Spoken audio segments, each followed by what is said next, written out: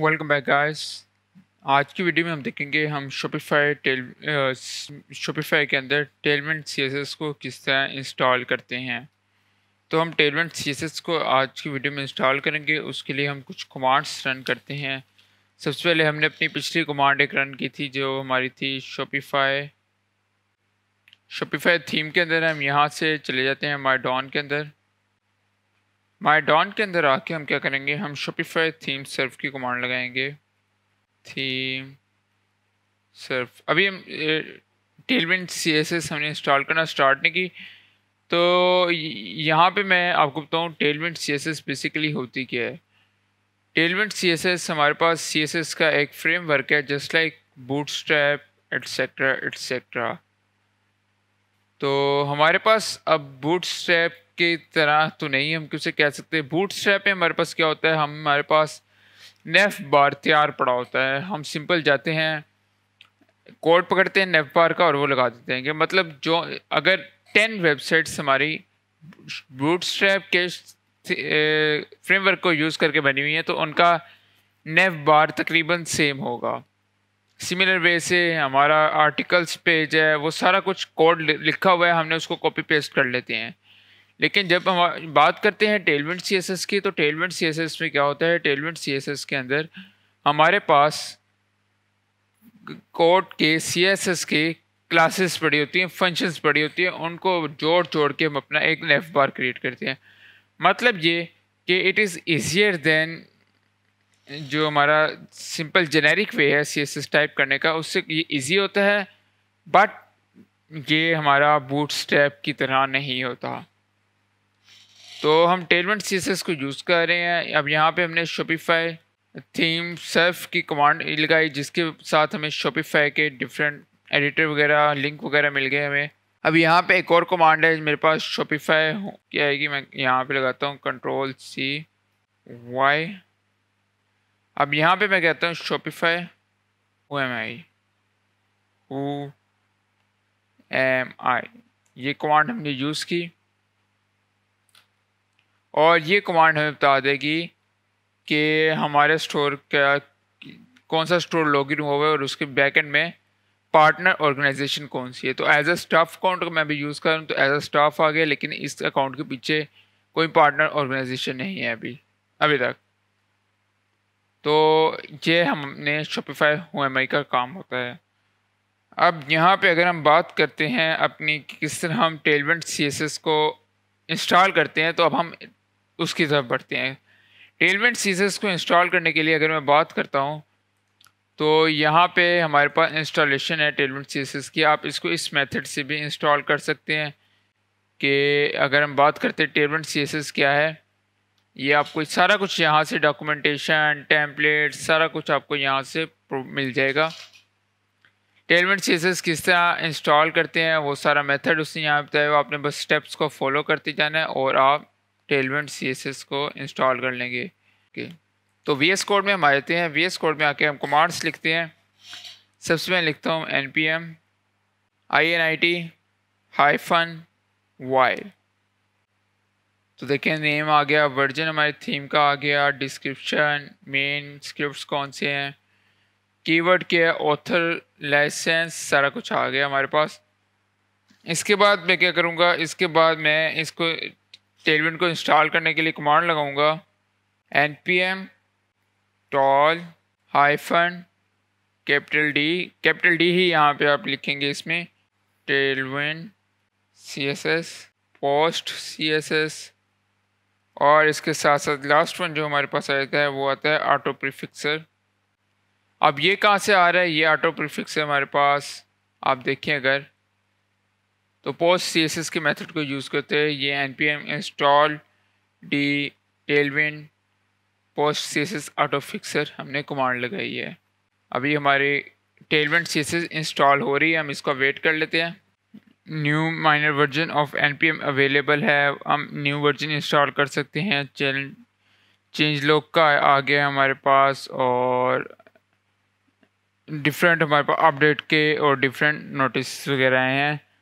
तो हम आगे चलते हैं। आगे हम क्या करेंगे? नेक्स्ट कमांड की तरफ़। हम एक यहाँ पे न्यू फ़ाइल क्रिएट करते हैं। न्यू फ़ाइल और उसका नाम हम रखते हैं। C S S dot config dot J S ये मैंने एक न्यू फ़ाइल क्रिएट कर ली और इस फ़ाइल के अंदर मैं जाके लिखता हूँ। Module dot export is equal to plugins और हमारे पास यहाँ पे मल्टीपल जो प्लगइन्स जैसे कि हमारे पास आ जाते हैं यहाँ पे।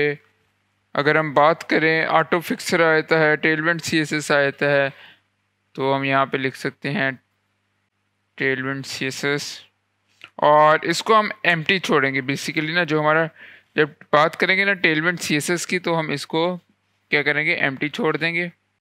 और सिमिलर वे से हमारे पास ऑटो प्रीफिक्सर आ जाएगा। अच्छा अब ये भी हमारा कंप्लीट हो गया है। तो ये हमने लिखा, आपने लिखना है उसके बाद आपने आ जाना है वापस। तो हम क्या करते हैं, हम यहाँ, अभी अगर हम यहाँ से देखें तो हमने, हम इस स्टेप में आगे हमने ये वाला स्टेप तो किया ही नहीं। तो हम फ़र्स्ट ऑफ़ ऑल इस स्टेप को फॉलो करते हैं यहाँ से एन पी एक्स और उसके साथ साथ यहाँ पे कॉम आगे हम यहाँ पे आते हैं और N P X Tailwind dot I N I T को हम रन करते हैं। अच्छा आप लोगों ने एक और चीज़ देखी होगी जब हमने ये पहली कमांड रन की थी तो हमारे पास पैकेट डॉट जेसन वगैरह का फो, फोल्डर क्रिएट हुआ था। अब हमने ये कमांड रन की तो tailwind dot config dot J की फ़ाइल क्रिएट हुई हम इसको ओपन करते हैं तो ये अंदर से हमारी कुछ इस तरह की फ़ाइल क्रिएट हो गई है। ओके चलें ये तो हो गया। अब वापस हम आते हैं, हम नेक्स्ट कमांड देखते हैं। हमारे पास जो नेक्स्ट कमांड आती है, वो है कि हमने सेकंड कमांड भी कर ली और उसके बाद अगर हम देखते हैं थर्ड कि हमने अपने टेम्पलेट के पास को कॉन्फ़िगर करना है। तो वो कैसे हम करेंगे? उसका मेथड इन्होंने यहाँ पे हमें बताया हुआ हम इसको फॉलो करेंगे। इधर, और यहाँ पे हम आके इसको फॉलो अप करते हैं। सो so, अब यहाँ पे हम क्या करेंगे? यहाँ पे हम आके अपने एक न्यू डायरेक्टरी क्रिएट कर लेते हैं। पोस्ट सीसेस हमारी यहाँ पे है। तो यहाँ पे मैं एक नई डायरेक्टरी क्रिएट करता हूँ और डायरेक्टिव का नाम मैं रखता हूँ। अपना just like S R C रख देता हूँ।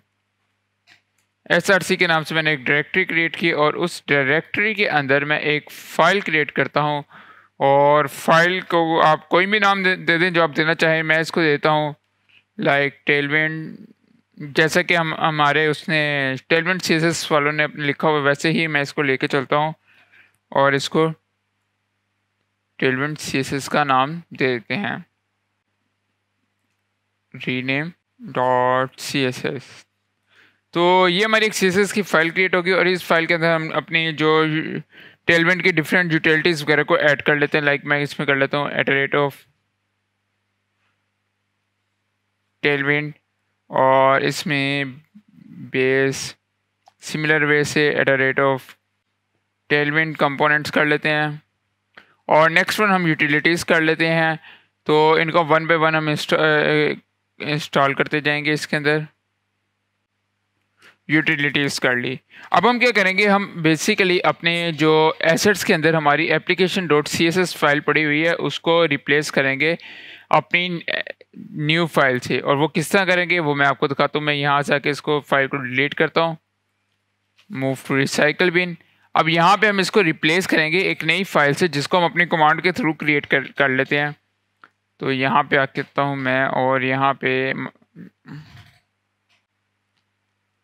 N P X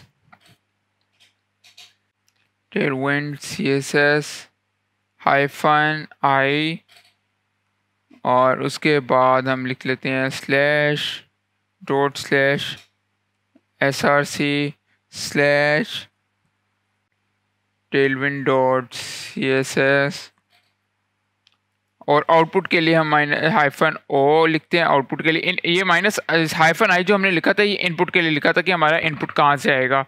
और अब आउटपुट कहाँ जाएगा, वो हम लिखेंगे यहाँ से आगे। और आउटपुट के लिए फिर दोबारा स्लैश कहाँ पे जाना है? एसेट्स की फ़ाइल के अंदर जाएगा। और एसेट्स की फ़ाइल के अंदर सॉरी स्पेलिंग एसेट्स की फ़ाइल के अंदर हमारे एक न्यू फ़ाइल जो होगी, वो होगी application dot C S S की। तो इसको मैं एंटर करता हूँ तो आप देखिए यहाँ पे मेरी एक न्यू फ़ाइल क्रिएट हो जाएगी। कंटेंट डन जी लें क्रिएट होगी हमारी file application dot C S S की। सब वार्निंग दी है, उसने हमें, हम उसको इग्नोर करते हैं तो अभी हम देखते हैं तो ये हमारी application dot C S S की फ़ाइल क्रिएट हो गई है। तो गैस आज के लिए इतना ही, मिलते हैं। अभी हमारी Tailwind dot C S S apply हो चुकी हुई है। तो तो आज के लिए इतना ही, मिलते हैं अगली वीडियो में, तब तक के लिए खुदा हाफिज़।